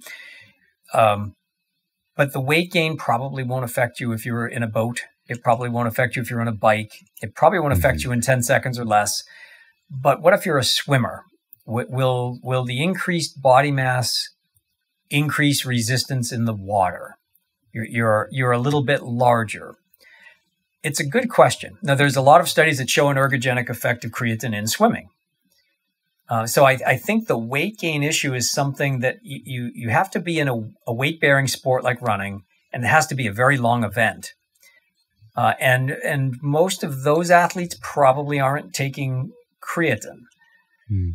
Right. I, I don't have. I have evidence that will it will improve your your performance, say on on you know the soccer pitch. You know you'll you'll have you'll gain half a step or a step on your opponent. So uh, the metabolic benefit outweighs the, the weight gain benefit mm-hmm. in, in in most situations. but it, you know, it's possible there's a, a sport out there where uh, the weight gain might be a, a biomechanical disadvantage. And in that instance, it wouldn't mean not using creatine altogether, perhaps, but it would it would mm-hmm. perhaps mean timing when you are supplementing and not, and allowing sufficient time to get the body weight down for an event. Mm-hmm. Sure, and it could be that that's what you use in the off season as part of your strength mm-hmm. and conditioning program. Um, but you know, it, it, depends on the the athlete. Um, I I have not seen any evidence that there's an ergolytic or you know performance decrement type of effect. But in, in theory, there could be a biomechanical disadvantage if you're heavier. Most of this research was done by strapping weights to people's bodies and having them run long distances. Uh, and yes, they, they get slower. Uh, this is a small amount of evenly distributed water weight with a metabolic improvement. Do you have a, a sense for the kind of percentage of athletes, either at an amateur or professional uh, elite level, that are using creatine versus an are not? Boy, that's a terrific question and, and also not an easy one. Uh, I've learned through um, some of my involvement with um, the International Olympic Committee and some um, really good international scientists who, who work with elite athletes that supplement use is very different from country to country you know, you, you think it, it's what we emphasize in, in the United States is exactly the same in Finland. And, and of course, it's not even close, you know, from country to country. So there's, there's that issue. There's also a sport issue, right? So in, in American gridiron football, you, you might find very high levels of creatine supplementation. You will find it in American high school gridiron football. Uh, will you find it in gymnastics? Not in the women, possibly in the men. Uh, you know, will you find it in track and field? Absolutely. So I've seen numbers all over the place. Uh, I think the highest group is going to be bodybuilders, powerlifters, and and the people who are just in the gym working hard. Mm-hmm. That's those are the groups that creatine use is eighty five percent to hundred percent. Mm-hmm. And then the, the rest of your athletes, I've seen studies as low as 10% and as high as 55% in, you know, elite uh, amateur and professional athletes, but it's it's just so sport dependent, and, and even in some sports, it's position dependent. You mentioned women there, and that makes me wonder. Uh, in in a number of areas of science, the number of women in studies is, is often much lower and they can be underrepresented for, for a variety of reasons. They can be a bit trickier to, to sometimes include in a study, particularly um, during pregnancy and, and different life stages. But how much of the, the creatine research has been in women and are there the same sort of benefits up for grabs for women as you would expect to see for men? And do we have good sort of safety profile for, say, women that are pregnant and nursing? We have to, to start with from a general population perspective. It, it's uh, more of the data are in uh, males, uh, and and that's uh, unfortunate. Uh, but there are a number of studies that have focused on women, and the ergogenic effect appears to be similar, um, meaning that um, creatine is effective and it's particularly effective in the weight room. Uh, you know, because the weight, what we do in the weight room is really designed for that phosphocreatine energy system. So th- there are fewer efficacy studies, there are fewer safety studies, but there's enough to convince me that if there's any difference between men and women in the response to creatine supplementation, it, it must be unbelievably small or, or possibly just masked by individual differences. Like mm-hmm. the the women may not be vegetarians, but they might be low meat eaters, or or um, they, they might have you know a few people might get into a small study who have unusually high natural creatine levels. But uh, anything that pops up in the literature that says, well, there looks like there's a difference here, I'm I'm not convinced. I I think mm-hmm. it's the same response, men or women, and um, the the new research is is uh, looking at um, and, and this is a very small body of literature, but looking at it across pregnancy, uh, using um, you know different types of laboratory models, different types of animal models, and and and so far everything looks very very safe and and and promising. I would say um, you know the best person to ask would would be someone like Abbie Smith Ryan, mm-hmm. uh, who's who's really has some nice expertise in this area. Uh, but I have no, I have, a, again, you know, why do we start with the perspective that there could be an adverse event when we're talking about a nutrient? Mm-hmm. You know, if this was a, a carbohydrate supplementation study or a vitamin C supplementation study, you know, would, would we really be saying, you know, oh, is there a difference in metabolism in, in, in, in women? Uh, so that's interesting, but I, definitely we, we would obviously need to be cautious in, in pregnancy studies.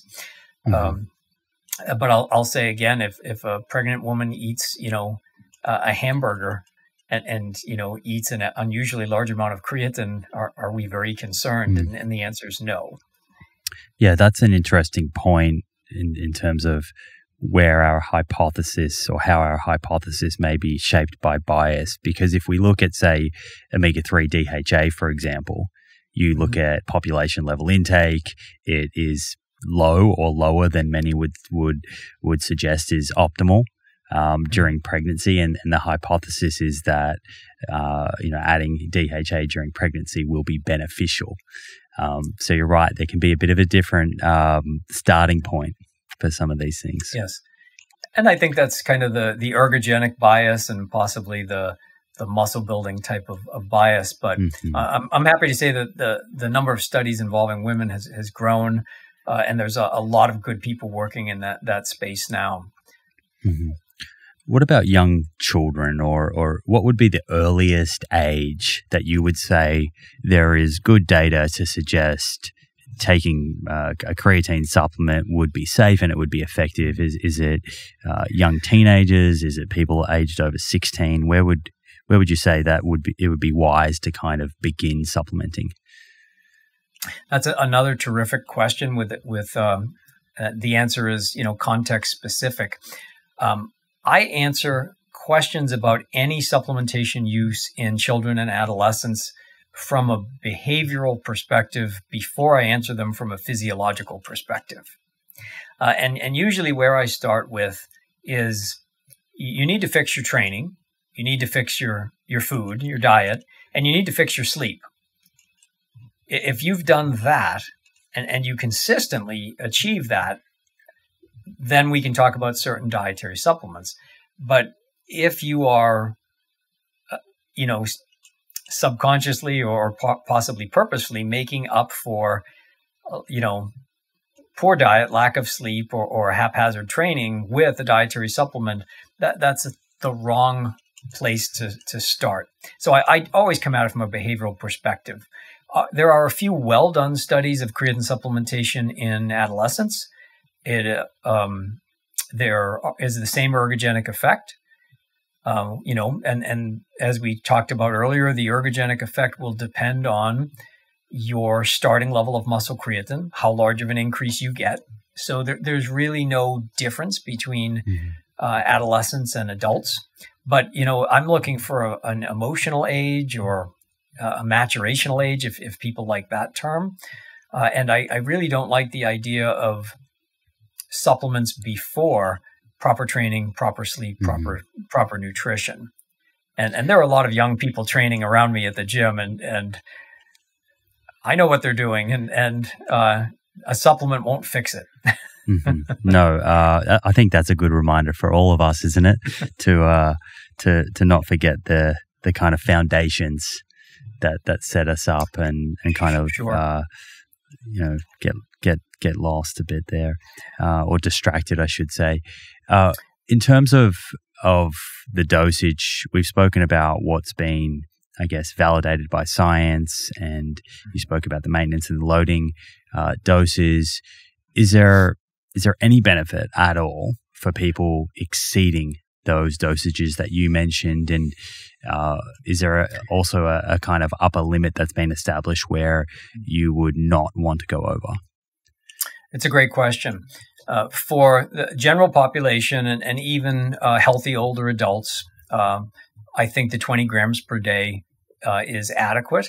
And and if you if you look at the urine data during the five day loading phase, by day three you're getting 10 grams of creatine coming out in the urine. So 50% of it's coming out in the urine. Uh, you know, uh, it, we certainly don't need 30 grams or 40 grams per day um, y- you know, uh, five days, 20 grams per day is, it really covers 99% of the population. There are some special populations where they've used higher doses, like um, patients with Huntington's disease, they've used more like 40 grams per day. And, and in the special issue, issue of um, the brain, so if we're talking about a different tissue, it's mm-hmm. possible that the dose could be different. But I, I, think we're covering almost everyone in the population with 20 grams per day for five days or three to five grams per day for about 30 days to get to the same place. Mm-hmm. I think that's a nice segue into cognition and, and brain okay. health here. Can you can you talk about why the brain as a tissue is particularly interesting when it comes to creatine and perhaps a bit of, about the kind of separation between creatine in the brain versus the the muscles? Sure. Um, so it's the same basic premise. Your your brain is very highly metabolic, and your brain needs to produce adenosine triphosphate (ATP). So um, where does your brain get a- ATP? You know, the breakdown of nutrients like glucose, but the brain has creatine as well. So um, the brain relies on creatine and phosphocreatine to replenish ATP when brain activity is high. The big difference between skeletal muscle and brain is that skeletal muscle does not synthesize creatine, so it really is designed to take up creatine from outside sources, like endogenously produced or, or the diet. The brain does manufacture its own creatine and regulates its own creatine content. So, as as you would you would know, and, and most would guess, the brain is very protective and resistant to most substances. You know, there, there's not a lot of things that are going to easily pass mm. the hmm. blood-brain barrier, and supplemental creatine is likely one of them. So, um, the brain handles things under normal circumstances, but if you're at the extreme end of the scale, uh, for instance, the children with the genetic defects um, who have problems with creatine synthesis or creatine transport, um, we can increase their brain creatine levels a lot and, and restore them to health. The, hmm. the more difficult question is for someone like me um, can I increase my brain creatine levels? And then what sort of um, performance enhancing or cognitive enhancing effects would I get? Mm-hmm. And um, I, I, think we we have a small but very interesting body of literature, and and the first part of that body of literature would be can we increase brain creatine with supplementation? And and the answer appears to be yes. So um, there are, I, I think there are a dozen creatine supplementation studies now that are um, simple creatine supplementation with pre and post brain measurements. And nine out of the 12 showed a significant increase in brain creatine. Mm-hmm. Now, this increase is more on the order of 5%, with a few studies. Can I ask you a question on that? Yes, sir. Uh, it's you, you spoke earlier about uh, an MRI or a mm-hmm. muscle biopsy how do you go about measuring creatine in the brain? Uh, presumably, it's a little bit more difficult and, and probably requires some uh, different expertise, I imagine. And and also, how do you choose, you know, what part of the brain you're going to look at? Yes, you you have in one question highlighted all of the complications and problems in this body of literature. So, um, with skeletal muscle, we have this, and, and it may not be completely accurate, but we work off this assumption that if we're all studying the vastus lateralis, the muscle biopsy um, reflects what's going on in the entire muscle. And if I compare the creatine content of, you know, the quadricep in labs from Australia and the UK and Canada and the United States, it will make sense using the muscle biopsy technique when you use an MRI, when you use magnetic resonance spectroscopy, you can't really compare across labs like that. You can compare percent change, but not actual concentration. With the, the biopsy technique, I'm confident. So I could actually look at a study done in Australia and say, those people had low creatine, mm-hmm. and, and and you know that number would make sense to everyone in the world. With the the magnet work, I, I have more confidence in just saying a, a percent change pre to post supplementation than I do actually comparing the concentration. So we cannot do biopsies in the brain, or at least they won't let us. So we have to use, uh, you know, uh, spectroscopy. So you stick your head in the MRI, you lie in the magnet, and are there um, differences between the different? Re- are there creatine content differences in different regions of the brain? Yes, there are. Hmm.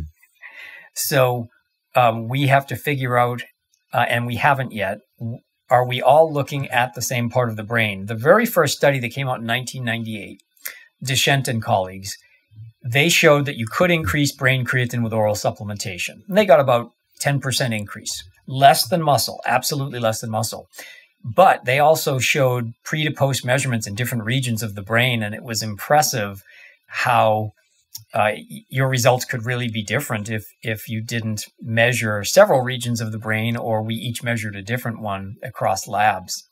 Uh, and that's a complication. So you have to have access to an mri they have to be able to do spectroscopy and they have to be interested in creatine supplementation research. So the brain mm-hmm. literature is right away much smaller than the muscle literature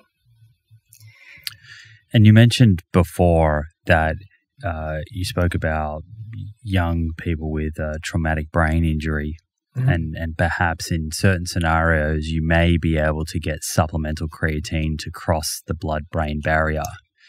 Yes. Is, is that uh, likely just the body kind of self regulating? And if an endogenous production is down within the, the, the central nervous system, within the brain, that it's it then is permitting creatine from the peripheral part of the body to actually come through. Is that the kind of proposed mechanism?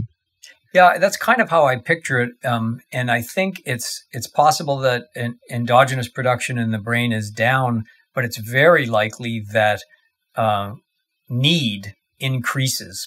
So, w- w- in the case of a traumatic brain injury, there's a real energy crisis that's set off. And th- there's research to show that brain creatine decreases following a concussion, a traumatic brain injury. So right away we have decreased brain creatine. This mm. seems like a circumstance where supplementation would benefit. But then there's this energy crisis that spreads over the brain. There is depolarization of membranes. There's all of these things that need more energy, and brain creatine appears to be depleted.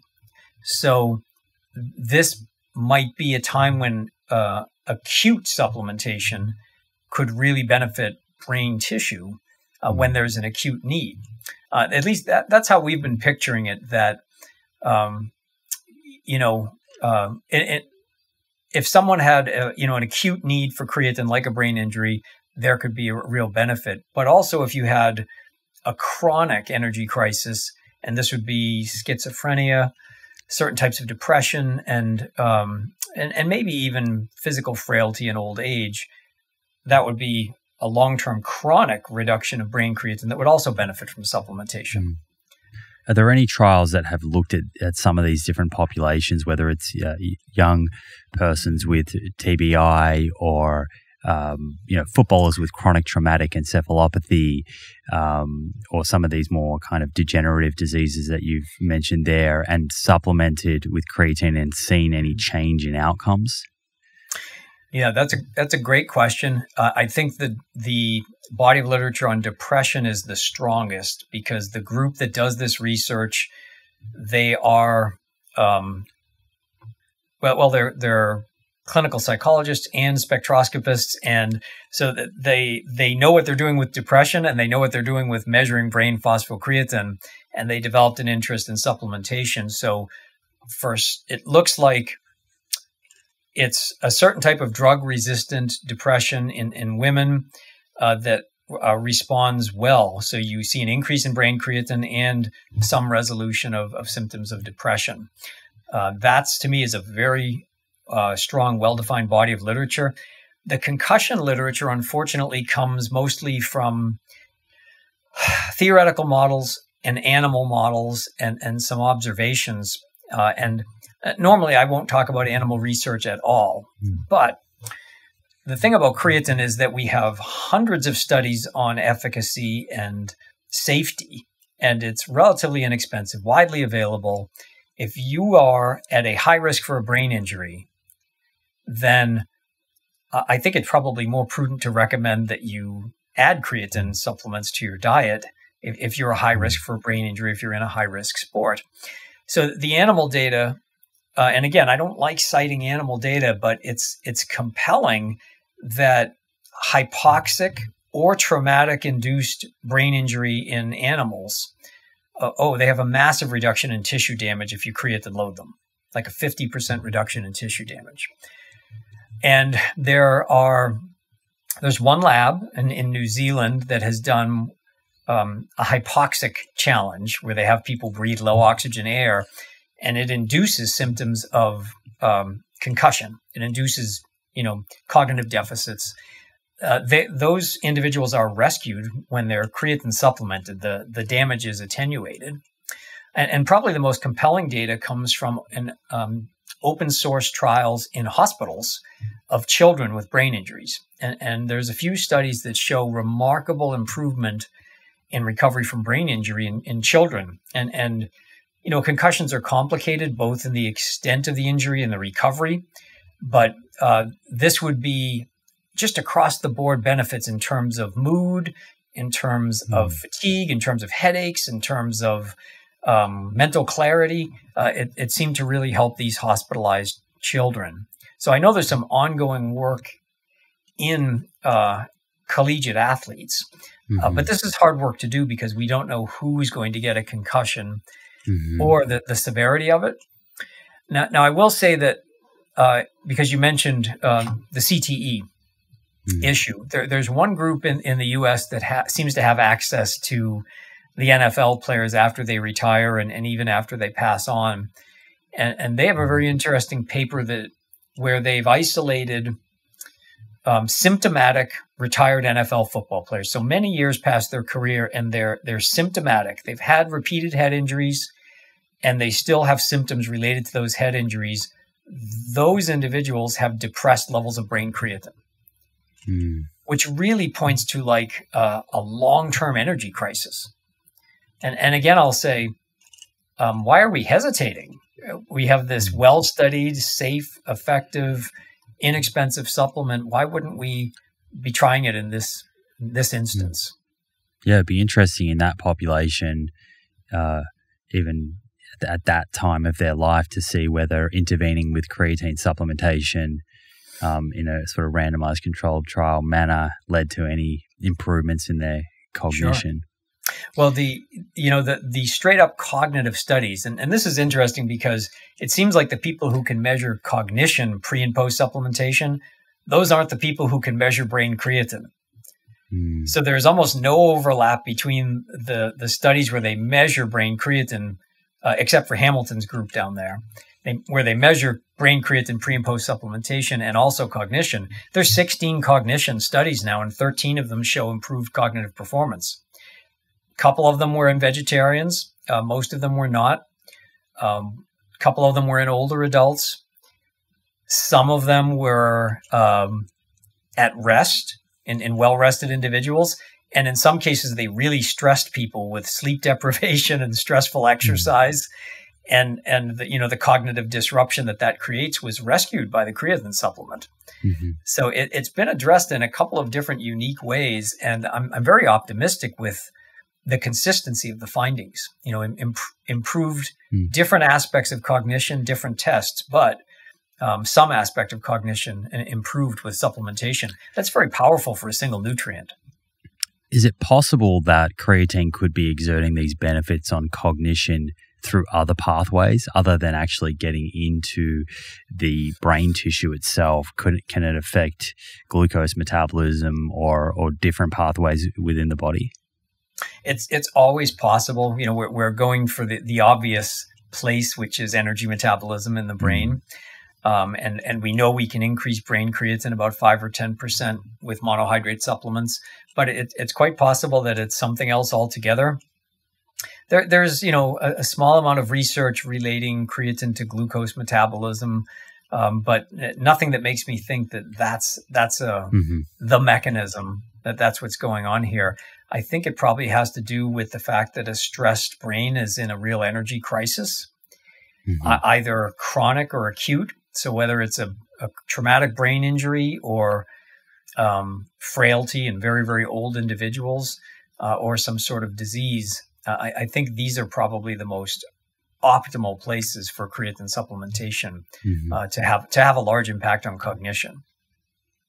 And so you you you believe that the typical person can perhaps increase their brain creatine stores by 5 to 10%.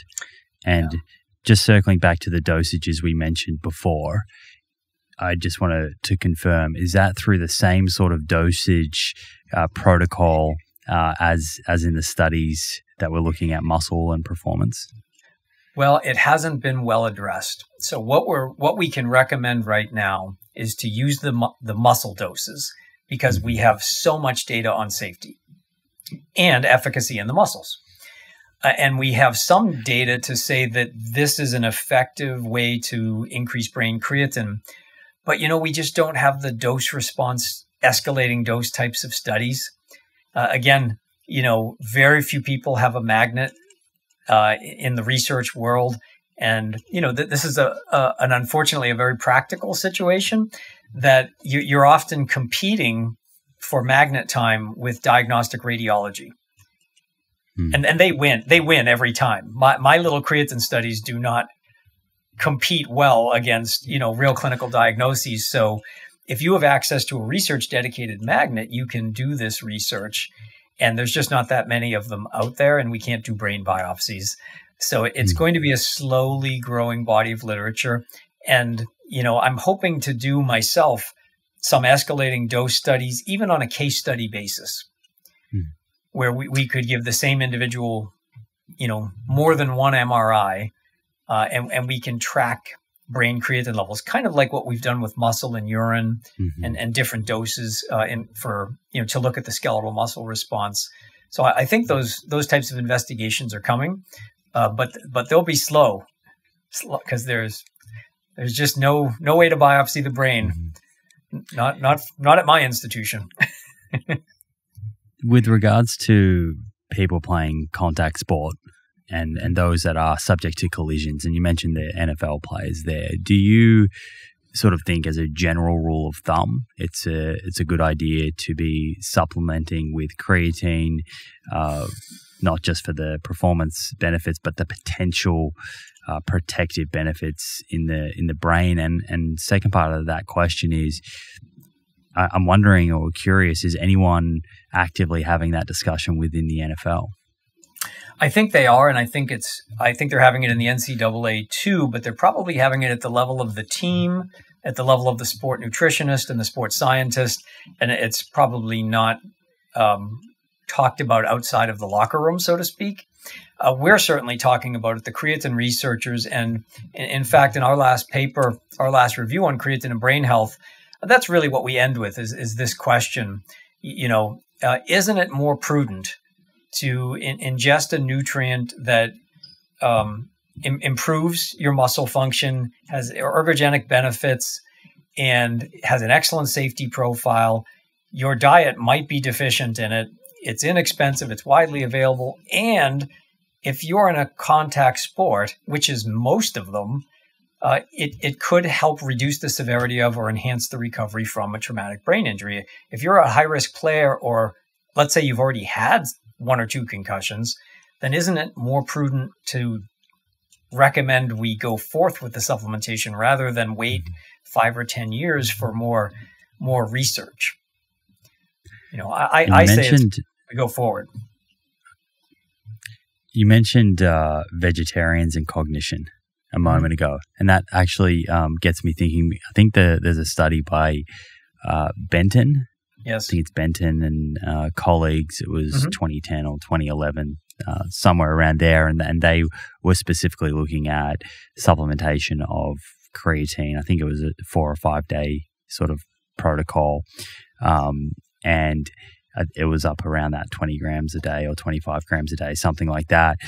And they they did see a significant difference in memory, I believe, between the mm-hmm. vegetarians and the omnivores. And I've seen people uh, interpret that study differently, um, depending on what kind of dietary camp they're from, which is always fun to kind of um, to to sort of uh, look at through through different lenses and, and see how people are coming to their kind of uh, conclusions. But w- when I look at that study, I look at the the. I'm not sure if you're familiar with the the actual results, but the the baseline data sort of suggested that they were performing quite similarly, but then after supplementing, the vegetarians saw greater improvement.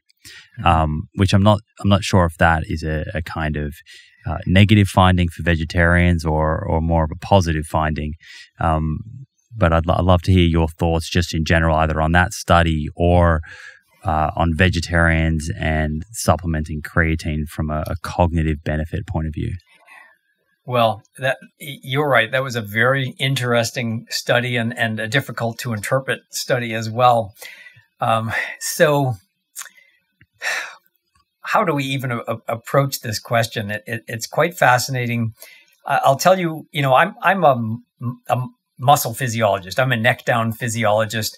The only reason I started to even remember that I had a brain was because creatine research took me into the brain, and then I had to start thinking about the brain. So I contacted some very smart uh, psychologists, some um, military psychologists, people who really were good at measuring brain performance. And what I learned quickly was that every lab seems to disagree with each other on every measurement. Mm. This was this was frightening for me uh, as a young investigator because if you and I measured strength from the other side of the world, we would probably really understand the way we measured muscle strength or muscle power. Um, but all of these labs and all of these studies assess memory and, and um, you know mathematical processing and short-term memory and long-term memory they assess them differently mm. and um, that you know when i first started this i would hear i don't believe their data i don't believe i don't believe that that test can show that effect uh, so it was it was very frustrating because I was bringing these papers published from great labs and in fantastic journals to other uh, you know to psychologists, and they just said, "Nope, we can't we can't do that." So it made the studies harder to compare for me, and and that's the first thing um, that that that I have to say. But then you know. One of the most important findings that came out after that Benton study was from the, the team in Brazil uh, with Solis, uh, S O L I S, as the first author. And what they showed was uh, if you compare vegetarians and omnivores, omnivores have higher muscle creatine to start with, and if you supplement them, vegetarians have the larger increase because they're starting with a lower point, a lower baseline. If you look at the diet, vegetarians eat almost no creatine, whereas omnivores eat quite a bit. Uh, but if you look at brain creatine, they were identical between the groups. So it's as if the brain figures out what to do to something like um, a, a vegetarian diet. And then when you supplement, I'm not sure that um, we could expect the same response we get in muscle because in, in some cases we get not only do we not get a larger increase in the vegetarian group in the brain tissue, we might not get any increase at all mm-hmm. in omnivores or vegetarians.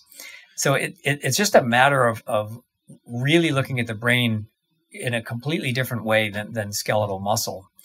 Uh, and then realizing that, you know, uh, out of the 16 studies on, on creatine and cognition, 13 of them showed an effect. There were there's no overlap between the tests.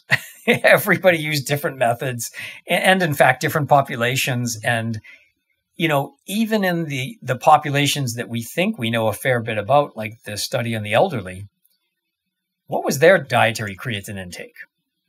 Hmm. Was it comparable to the vegetarians in Benton, uh, or was it comparable to the omnivores? It's a really messy body of literature. Uh, but with a very unanimous finding of improved cognition. That's what that's what inspires me to to stay in this space and keep studying it. Um, but I, with the muscle, I expect the vegetarians to have a bigger response. With the brain, mm-hmm. I'm not so sure. I think the brain has protected brain creatine levels um, because I don't think I don't think becoming a vegetarian drains brain creatine as much as it does blood creatine and muscle creatine. I, I really don't. You mentioned that was a wondering uh, answer. no, that was that was great. You mentioned a couple of the the studies that or the case studies that you're looking to do, potentially following someone and, and scanning them on multiple occasions and looking at brain creatine and mm-hmm. some work that others are, are doing in this space. But I'm, I'm also curious outside of that, with the current kind of gaps in the literature and questions that you are, are interested in, what other studies do you either know about or would you like to see sort of conducted in this space of brain health and creatine?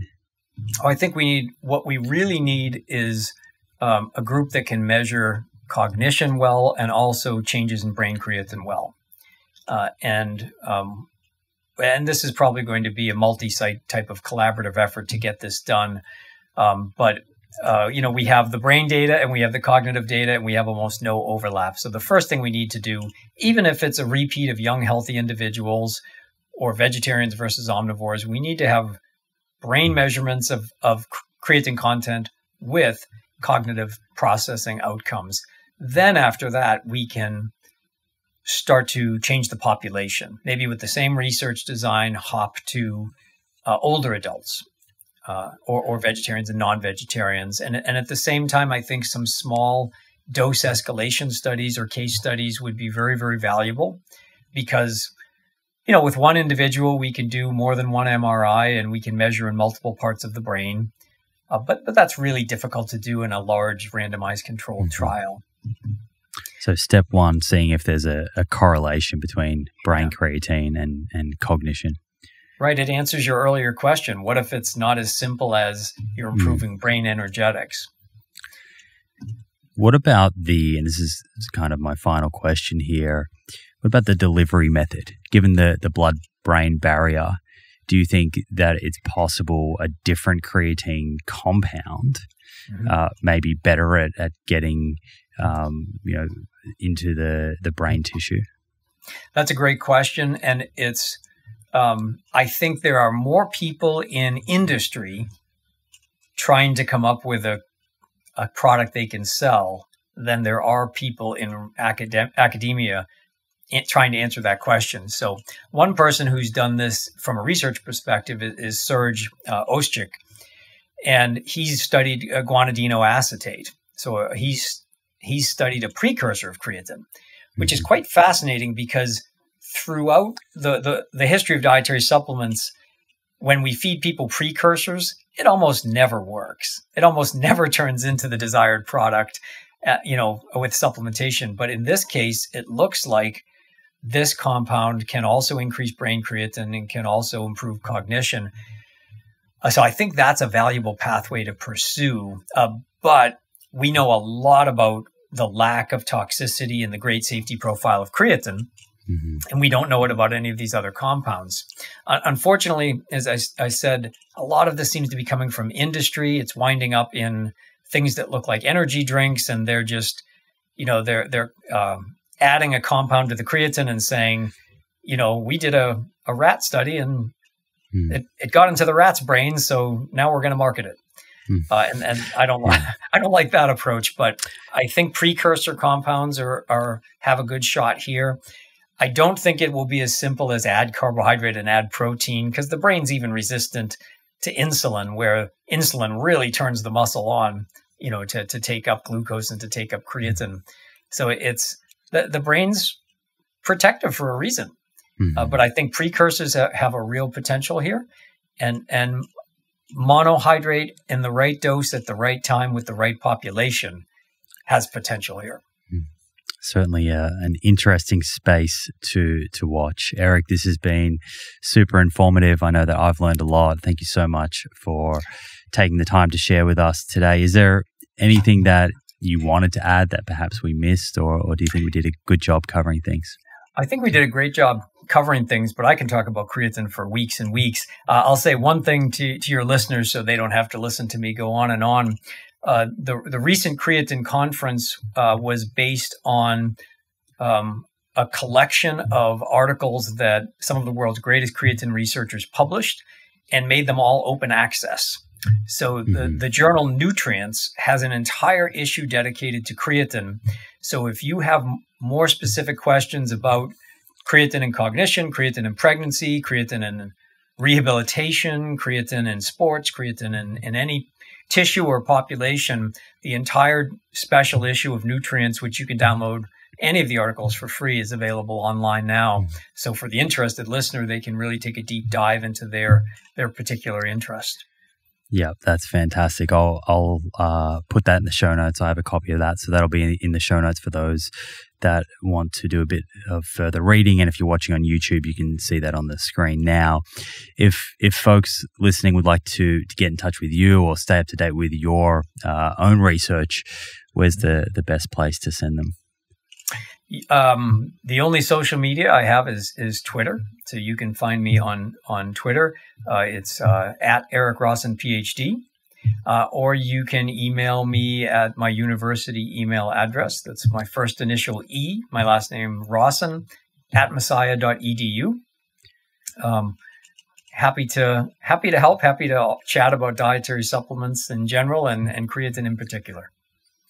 Perfect. I'll put all of that in the show notes as well. Thanks again, Eric. Thank you. Thank you for joining me for this episode and your interest in science based conversation. I hope you enjoyed it and found the information covered interesting and instructive. If you did and you'd like to show your support for the show, please subscribe to our YouTube channel where you can stay up to date with new episodes and watch them in video format. Yes, the full length videos. Please also consider subscribing to the show on the Spotify and or Apple Podcast app, wherever you enjoy listening to podcasts. You can also leave a review on Apple or Spotify. Again, a great way to support the show and make our content more discoverable for others to enjoy and learn from. If you have any comments about the episodes, suggestions for future episodes, including guests you'd like to see on the show, or questions that you'd like to have answered, please leave those in the comments section on YouTube. I myself and my team will take note of these comments when planning future episodes. Finally, the best way to support the show and receive discounts on products we love is by checking out our sponsors at theproof.com forward slash friends. Enjoy your week, stay well, and I look forward to catching you in the next episode.